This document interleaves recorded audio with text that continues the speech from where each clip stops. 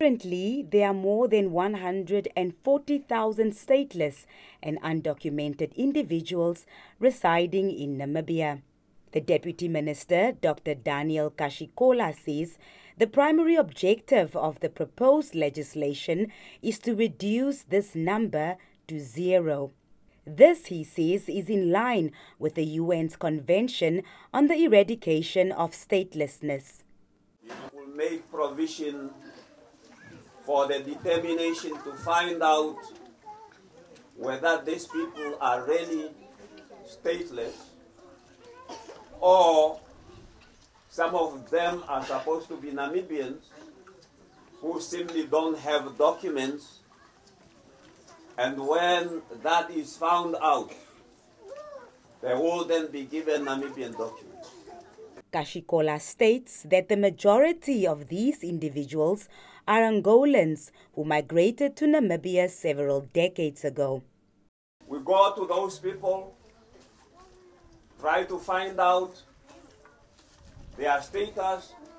If that person is found to be, let's say, an Angolan, so we'll contact that authority, the authority, the authority, the Angolan authority, and find out why that person cannot have Angolan citizenship and or any other country's citizenship. But when that happens, when we realize that that person is unable to get a citizenship of another country, and then that person will be given the Namibian citizenship. Because the intention is not to have any person in Namibia who is stateless. The bill, once it becomes law, will include provisions for four types of identity documents. These documents will be designated for Namibian citizens, refugees, individuals residing in Namibia with permits exceeding 12 months, and a separate category for those whose status is currently unknown or undetermined.